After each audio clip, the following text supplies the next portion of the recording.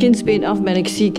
Mijn eerste opname was nog in Sint-Raphaël. En de dokter die mij toen uh, uh, behandeld heeft, uh, die ben ik eeuwig dankbaar, want dat is, dat is degene die de diagnose gesteld heeft. En toen kon er eindelijk een, ja, een echte behandeling opgestart worden.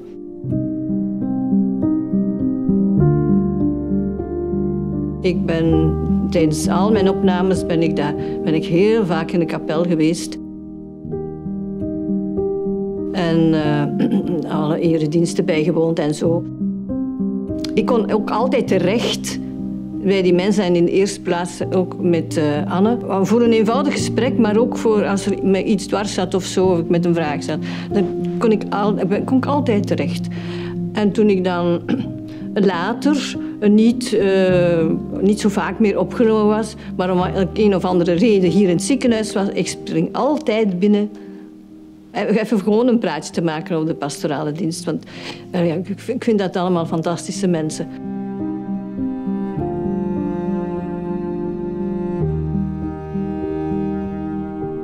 En dan een paar jaren terug, toen mijn man dan ziek was, dan hebben zij ook, zij zijn ook fantastisch geweest voor hem.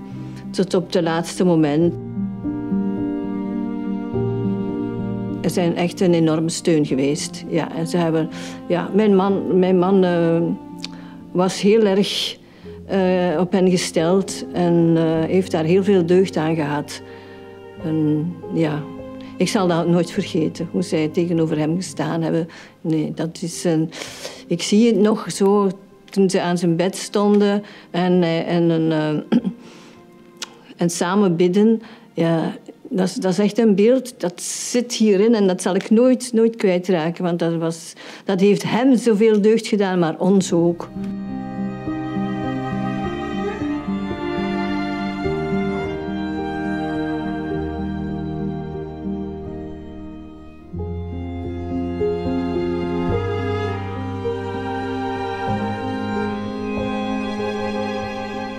En nadien heb ik ook nog naar een aantal sessies voor, over rouwverwerking uh, bijgewoond. Dat ook door hen georganiseerd was. Dat was ook echt heel ja, troostend en bemoedigend. Ja, dat, is, dat heeft me ook veel goed gedaan. Ja. Op medisch vlak heb ik echt veel, veel um, problemen mijn, hele leven al. Maar ik zeg altijd, ik heb veel malchance met mijn lichaam, maar ik heb ongelooflijk veel chance, veel geluk met de mensen rondom mij. En dat is voor mij veel belangrijker. Daardoor kan ik, kan ik het aan. Dus ja, ik heb ook wel eens een mindere dag, hè? wie niet. Maar um, ook, ook een uitdrukking die ik wel vaker gebruik. Ik heb veel meer om voor te leven dan voor te sterven. Dus ik moet hier nog even blijven. Hè? Ja. Dat doet iets met me, uh, het geloof. Ik kan niet zonder gewoon. Dat brengt mij tot rust om te, beginnen.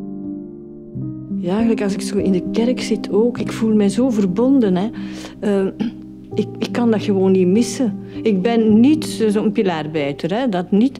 Maar ik heb behoefte aan dat geloof. Ik heb dat nodig om mij... Ja, dat geeft me ook rust. Ik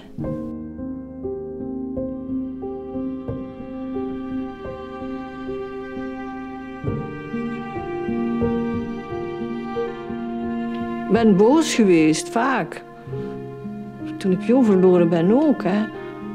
Ik denk, allee, waarom? Maar de waarom-vraag wordt nooit beantwoord. Hè. Nooit. er is geen waarom. Hè.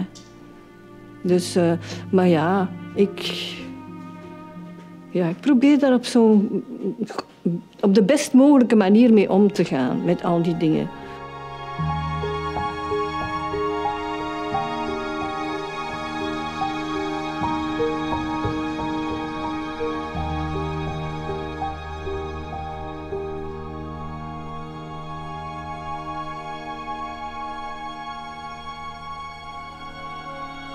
Ik wilde vooral binnen mijn beperkingen, die er absoluut zijn, uh, zo maximaal mogelijk leven.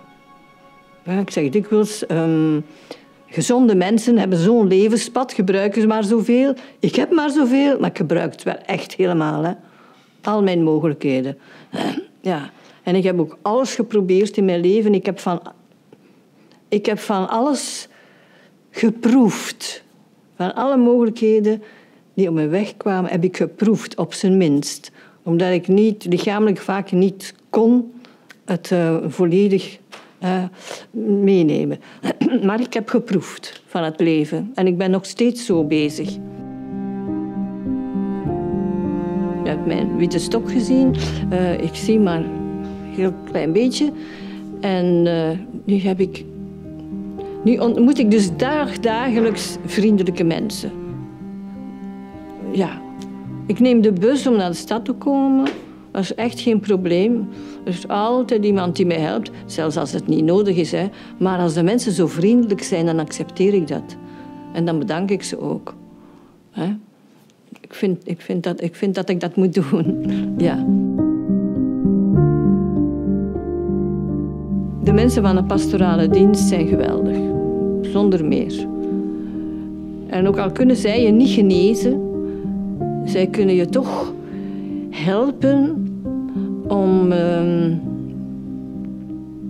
ja, je hebt er geen vrede mee hè, met het ziek zijn en, en uh, heel slechte vooruitzichten. Je hebt daar geen vrede mee. Maar zij kunnen je toch wel helpen om daar op een bepaalde manier uh, mee om te gaan. Omdat um, toch een soort verwerkingsproces.